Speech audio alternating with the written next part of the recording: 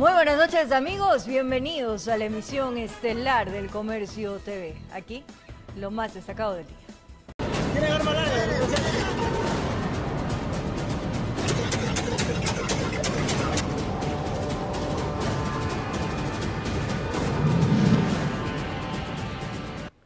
A 19 ascienden los fallecidos por el motín carcelario en el Centro de Privación de Libertad de Cotopaxi. La lista se suma el PPL, señalado como el responsable de agredir sexualmente a una agente policial quien se habría suicidado. Se conoció extraoficialmente que el fallecido de 26 años de edad estaba sentenciado por asesinato y fue señalado como el responsable de violar a una sargento de policía la tarde del miércoles pasado, cuando los reclusos protagonizaron un violento y sangriento amotinamiento. El cadáver fue encontrado en el patio del área de visitas de mínima seguridad. El cuerpo habría sido sacado de su celda por otros internos. Se presume que efectivamente la persona fallecida corresponde eh, a ser el agresor eh, de la eh, sargento de la Policía Nacional. El privado de la libertad supuestamente se habría quitado la vida ahorcándose. El cuerpo presentaba un surco alrededor del cuello. Los restos fueron evacuados hasta la morgue de la ciudad de La Tacunga. Hay una persona que presuntamente se ha suicidado. Esa información la está manejando Fiscalía a través del protocolo legal correspondiente. Con esta nueva muerte ascienden a 19 los PPL fallecidos producto del amotinamiento carcelario. Los trabajos entre servicio preventivo de investigación e inteligencia han permitido hasta el momento la recaptura de 86 privados de la libertad que fugaron durante el motín penitenciario. La entidad encargada de las cárceles no confirmó cuántos lograron escapar. Estamos pendientes de ese dato, aún no hemos podido eh, hacer un censo total eh, de la población penitenciaria del centro. Las vulnerabilidades del sistema son extremadamente graves. Mientras el nuevo director de la SNAI, coronel en servicio pasivo Fausto Cobo, recorrió las instalaciones del complejo penitenciario para verificar los daños y la situación del centro carcelario, aunque todo estaría bajo control. Familiares de los reclusos buscaban noticias de sus seres queridos, se quejaban que no les han entregado información. No sé nada, estoy desesperada. Todo esto cuando está en vigencia un estado de emergencia en el sistema carcelario del país. En Quito informó Iván Casamen. Asistencia técnica internacional, así como la depuración total de los funcionarios del sistema penitenciario, son dos sugerencias que nacen en Asamblea Nacional tras los enfrentamientos registrados en dos cárceles que han dejado varios fallecidos. De forma enérgica y sin rodeos, Vilmandrade, asambleísta de la izquierda democrática, señala la punta del iceberg de lo que significa la crisis carcelaria en nuestro país. Y es que el narcotráfico, esta estructura delincuencial, se está tomando nuestro país y hay que tomar cartas en el asunto, no solamente en las cárceles, sino esas grandes fortunas que amanecen de, eh, de la noche a la mañana y que están proliferando en ciertas ciudades. Indirectamente ya lo dijo el presidente Guillermo Lazo. Andrade cree necesario declararle la guerra a los carteles del narcotráfico que vienen de México y Brasil, entre otros países. Yo creo que esta guerra contra el narcotráfico nos asegura el futuro del país, nos asegura una consolidación democrática y asegura que el sistema penitenciario que, es, que adolece toda esta problemática también pueda mejorarse. Desde la Asamblea Nacional se quiere arrancar con cosas básicas. El asambleísta Alejandro Jaramillo, también de la izquierda democrática, ve la necesidad de mesas de trabajo conformadas por el Ejecutivo, Legislativo y Judicial. ¿Cómo se puede dar que en el sistema judicial existan causas existen personas que por alimentos están mezclados también con delincuentes, eh, con asesinos, etcétera. Discusión que surge en medio del dictamen de la Corte Constitucional sobre la necesidad de que exista un plan integral que solucione el problema penitenciario. La asambleísta Yajaira Oresta de UNES le apuesta a la profesionalización de los guías penitenciarios. De la misma manera, la eliminación de la escuela técnica para la profesionalización de los guías penitenciarios ha sido catastrófica de 10 a 20 reos por un guía penitenciario no equivale a la seguridad que ellos deben tener. Johanna Moreira de la IDE demanda una purga en el sector. Y de que debemos hacer realidad un saneamiento total en las cárceles desde los directores. Pero creo que hay que buscar un asesoramiento internacional y hay que buscar, como ha dicho el presidente de la República, fuentes de financiamiento de organismos internacionales. Y quizás todos, no solo a la espera de palabras, sino de acciones, informó Héctor Romero. Investigadores y analistas en seguridad mantienen el criterio de que la situación carcelaria del país pasa por un problema estructural que en el corto o mediano plazo podría derivar en un problema mucho mayor para el Estado. Recomiendan, entre otras cosas, la dotación de equipos y capacitación de guías, sí que eso signifique descuidar la parte jurídica y normativa. La situación compleja de los centros de privación de libertad no es nueva. En ese sentido, explican los expertos, de nada aporta declarar estados de emergencia cuando no se tiene claro que el problema es estructural. Indican que en ese error se viene cayendo durante décadas. Es increíble cómo el anterior gobierno pensaba que dictando eh, estados de emergencia iba a solucionar un problema estructural. La emergencia es imprevisto, pero este es un tema sistemático. Necesitamos algo más que, que un, un, decreto de emergencia. Para darse cuenta de lo que se vive al interior de las cárceles, señalan, no es necesario de ser un especialista. Frente a los hechos, tienen algunas certezas. Hay como 119 muertos en este año, eso es un récord de, de violencia, pero sobre todo evidencia quién tiene el poder en, en, las cárceles, que básicamente es el crimen organizado. El general en servicio pasivo Mario Pazmiño no duda de aquello. Explica lo complejo del manejo penitenciario, al tener privados de libertad reunidos en lo que denomina megabandas. La policía intenta ingresar a tomar el control del centro carcelario. ¿Cómo les reciben?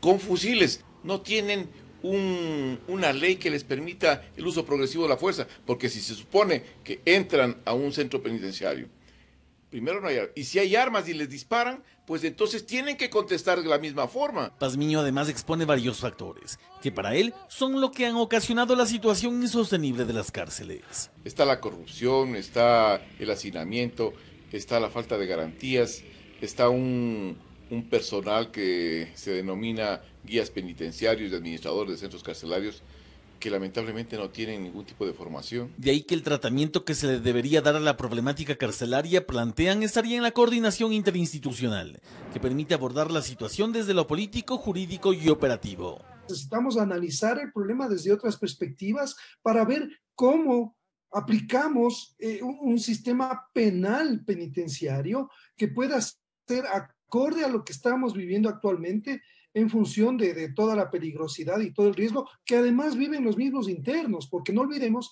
que adentro los que están encerrados son a la vez rehenes de estas bandas y tienen que buscar protección en estas bandas. Solo de esta manera manifiestan los analistas la forma de crítica, los policías y guías penitenciarios dejarán de ser huéspedes en las cárceles. Informó Javier Rosero.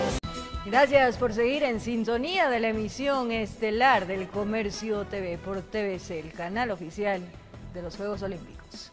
Y dando de baja temporalmente ciertas alertas de la Contraloría General del Estado es como se habría permitido que ciertos procesos se caduquen, perjudicando económicamente al Estado ecuatoriano. Así se reveló en la Asamblea Nacional. La semana culminó con más de una docena de interpelados como parte del proceso de juicio político al ex contralor subrogante Pablo Celi, donde se dejó al descubierto que Celi tendría poder más allá de lo que se suponía. Yo creo que ha quedado muy claro en esta semana eh, una grosera intromisión del señor Celi, sobre todo en el ámbito electoral. O sea, ahí eh, se han dado los elementos y los criterios de los consejeros del Consejo Nacional Electoral en los cuales todos eh, plantean que hubo una intromisión, una intromisión que al final no se logró concretar, digamos, en el, entre la primera y la segunda vuelta, porque quería hacer una auditoría informática. Pero no solo Celi estaría involucrado en supuestos actos de corrupción, sino algunos funcionarios que le rodeaban. La red de corrupción de la Contraloría no es solo a nivel de la cabeza, no es solo a nivel del señor Celi, sino ya se están sacando los cueros al sol cuando entre los propios funcionarios eh, se plantean algunas eh, aseveraciones con respecto al manejo de la propia Contraloría General del Estado.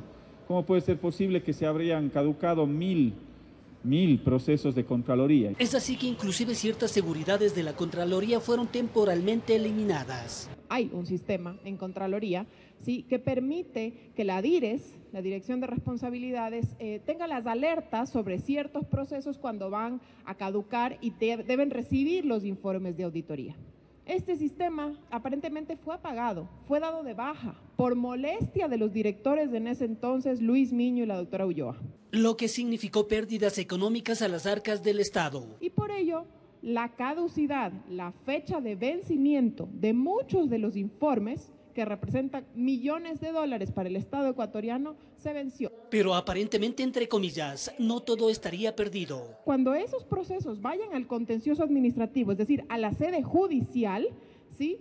es probable que se pierda. Se pierda por una violación al debido proceso, por el vencimiento de los plazos. Este fin de semana está prevista la comparecencia del ex contralor Carlos Polid y de la fiscal general del Estado, Diana Salazar. La señora fiscal general del Estado, ¿quién tiene que darnos un detalle de cuáles son los elementos de convicción por los cuales el señor Celi está afrontando un, un proceso penal? Informó Héctor Romero. Entre simpatizantes y detractores, este viernes se desarrolló la audiencia de apelación a la acción de protección concedida por la jueza María Belén Domínguez al exalcalde de Quito, Jorge Yunda. En los próximos días se convocará a las partes para dar a conocer la decisión del tribunal.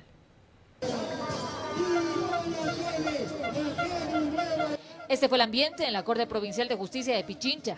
El edificio estaba fuertemente resguardado y es que con pancartas, bubucelas y música estaban quienes apoyaban la salida de Jorge Yunda de la alcaldía, mientras que un pequeño grupo apoyaba su permanencia. Pues a eso de las 2 y 30 de la tarde se instaló la diligencia de apelación a la acción de protección aceptada de manera parcial a favor del ex burgomaestre Jorge Yunda por la jueza María Belén Domínguez. Aquí se escucharon a las partes. Primero intervino la defensa de Yunda, quien pidió que se lo restituya al cargo de burgomaestre. Luego intervino la defensa de Analía Ledesma y Mónica Sandoval, quien argumentó la improcedencia y pidió rechazar la acción de protección, porque sostuvo no se vulneraron derechos. Durante la diligencia hubo varias intervenciones de los amicus curiae. Por ejemplo, Jessica Jaramillo del Frente de Profesionales sostuvo que esperan la aceptación de la apelación y que con esto quede en firme la remoción de Yunda. Tras casi tres horas finalizó la diligencia, se convocará a las partes para dar a conocer la decisión correspondiente. Informó Marilyn Jaramillo. Desde Guayaquil, el presidente de la República, Guillermo Lazo, participó en la instalación de la mesa técnica Ecuador crece sin desnutrición, tarea que se ejecuta de forma articulada con la Municipalidad de Guayaquil. Esto y más fue parte de la agenda del presidente en la provincia del Guayas. En su visita al Parque Samanes, ubicado en el norte de Guayaquil, el presidente participó en la instalación de la primera mesa técnica encargada de combatir la desnutrición infantil. Según datos de la CEPAL, somos el segundo país de América Latina con mayor prevalencia de desnutrición crónica de niños. De su parte, la alcaldesa de Guayaquil, Cintia Viteri, mostró gran apertura para participar de esta tarea que busca, una vez más, llegar con esperanza para los grupos vulnerables. Acepto el desafío, vamos a trabajar como equipo todos, la base de datos del municipio y la atención permanente y volcarnos al área social, para nosotros es un distintivo de igual manera, el primer mandatario estuvo presente en la reapertura de la Escuela de Educación Básica Diego Novoa, ubicada en el recinto San Juan perteneciente al Cantón Balao, la misma que será de gran aporte para el desarrollo de la educación en la ruralidad. Tengo pues la enorme alegría de entregar a los vecinos del recinto San Juan la renovada Escuela Rural Diego Novoa que ha quedado mejor que nueva.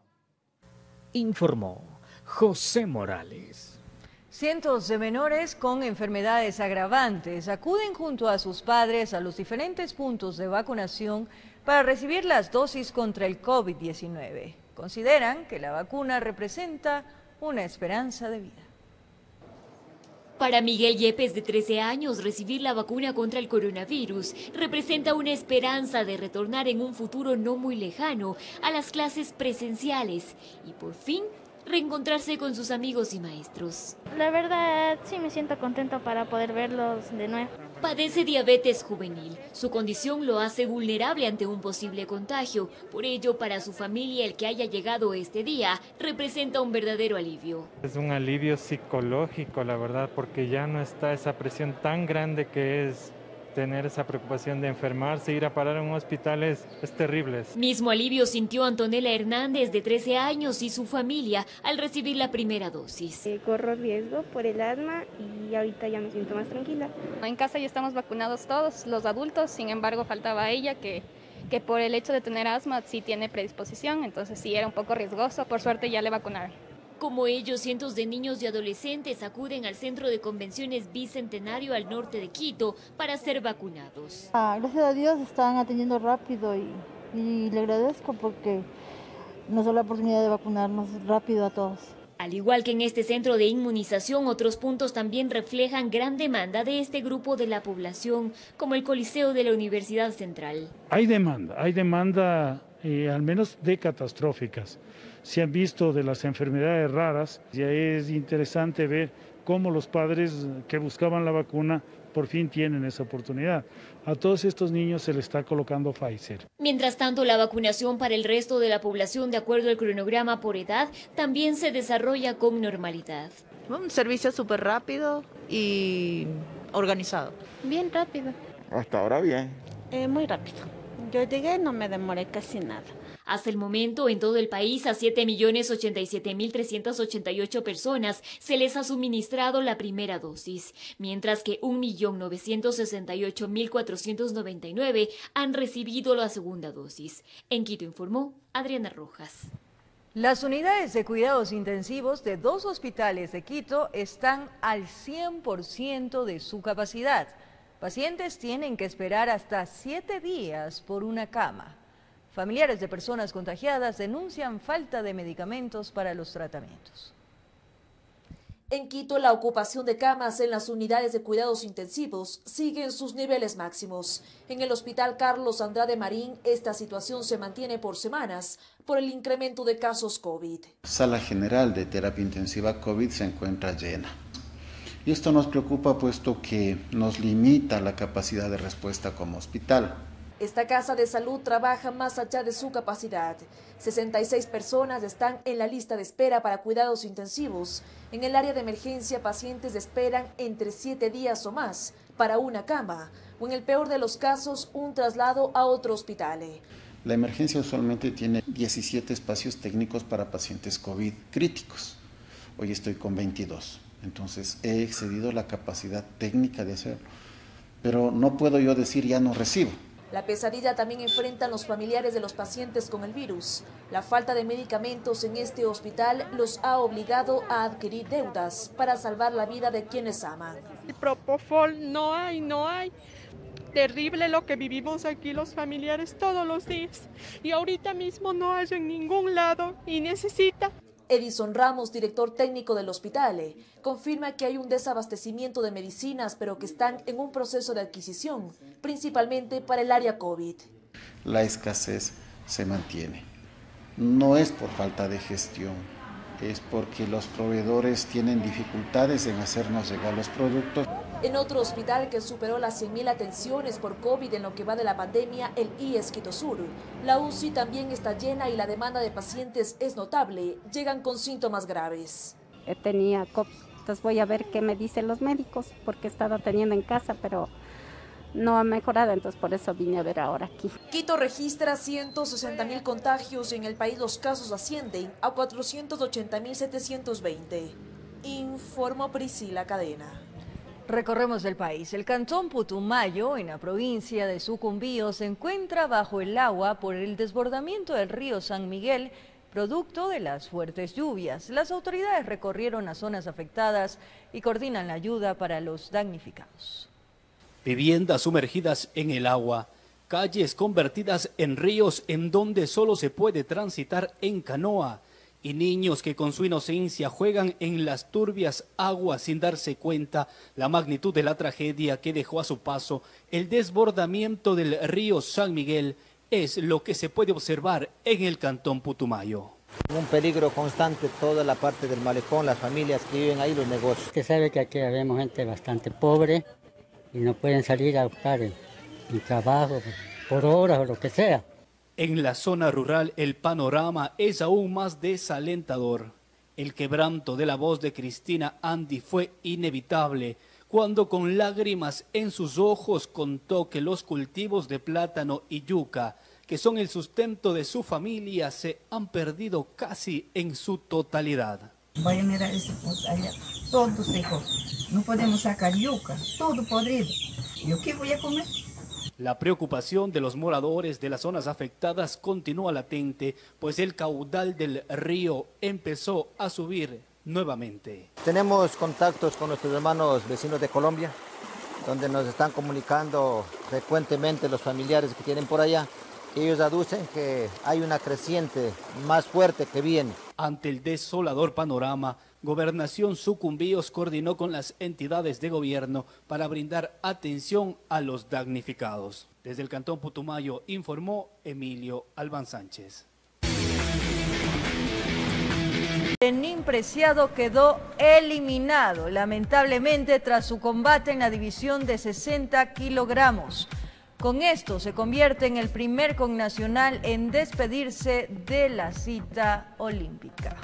La Agencia Metropolitana de Tránsito invita a menores de los 4 años a 14 a inscribirse en su vacacional virtual gratuito. Veamos en otros temas.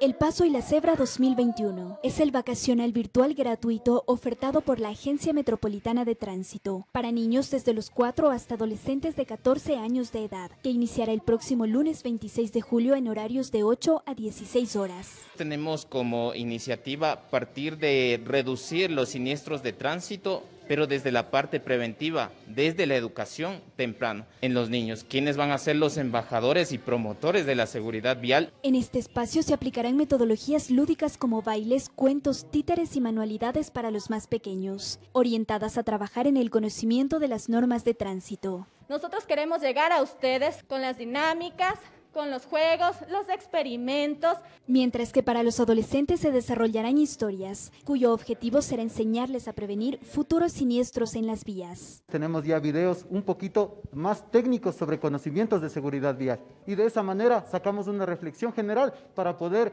educarles en la vía. Durante una hora diaria, en los cinco días de la semana, los participantes disfrutarán de momentos amenos y sumamente divertidos. Los padres de familia interesados en inscribir a sus hijos pueden registrarlos a través de las redes sociales de la AMT.